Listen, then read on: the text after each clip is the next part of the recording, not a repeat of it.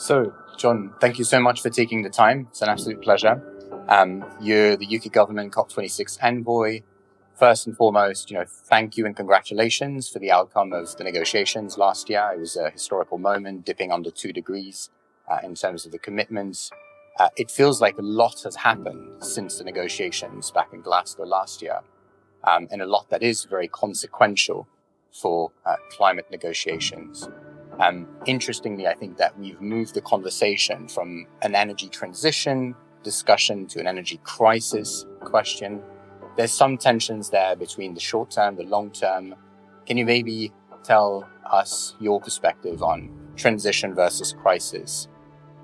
So um, there's a lot to unpack, and obviously a lot has happened since since COP26, and few of us anticipated the, the war of aggression in in Ukraine. Um, clearly, Russia's actions mean that uh, uh, energy supply has, has been an issue over the last few months. But one could argue that the, the, the element of crisis in terms of pricing that we're experiencing is because we have not made the transition to renewable energy fast enough. And so when governments like my own conducted an energy security review in the earlier part of this year after the, the Russian invasion of Ukraine, um, we concluded that actually that the best way we could preserve our energy security and indeed therefore bring prices down, be less dependent on imported hydrocarbons, was to move ahead even more swiftly with the transition to a low carbon economy. And that's why you saw, for example, the, the UK raising its target for offshore wind from 40 gigawatts by 2030 to 50 gigawatts, um, which is a, you know, a huge uh, increase. We've also seen the German government and others take similar steps. So actually, one of the consequences of, of the war in Ukraine is yes, there has been a temporary reversion in a few cases to, to burning more fossil fuels in order to keep the lights on. But if you map the area under the emissions graph by 2030 in an economy like Germany, mm-hmm. as a result of the decisions that they've made, actually the area under the graph will be smaller because they're accelerating their transition to renewables and away from hydrocarbons. Yep. And I mean, I think this a lot of this has to do with cost curves, right? Where I mean, we're now actually in a moment where solar is the cheapest source of energy. Um, they are, in effect, economically outcompeting fossil fuels. Um, it might actually be a short term disruption. It might look like we're taking a few steps back, but it could be to actually accelerate even faster. I do think that the energy transition will take place more swiftly than people imagine. Hmm. And if you just go back to other technologies uh, that we've adopted, I'm old enough to remember when no one had a mobile phone and then one or two people had one and then suddenly everyone had one.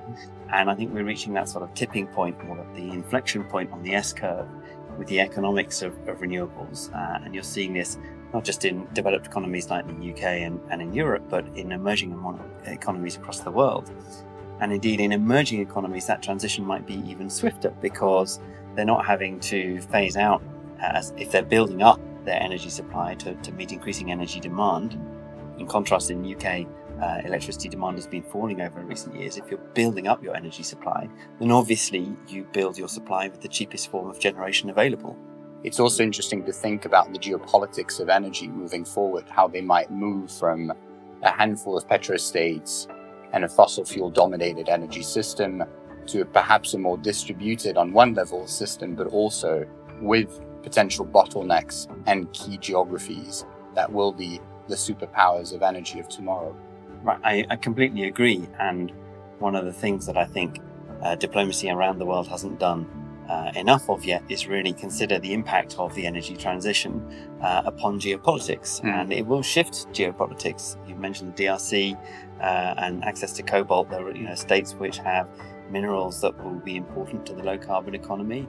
Uh, and equally, we will see a reduction in our dependence upon the major hydrocarbon producers like Russia uh, and other parts of the world where hydrocarbons form a large part of the economy. And we'll see increasing energy self sufficiency uh, amongst countries around the world. And and people are beginning to think about this, and you see leaders, inspired leaders around the world, realizing that actually, if they accelerate, particularly in light of the Russian invasion of Ukraine, if they accelerate their transition to renewables, actually they'll be dependent on no one uh, for their electricity supply, and it will aid their country's um, security as well as their country's economy.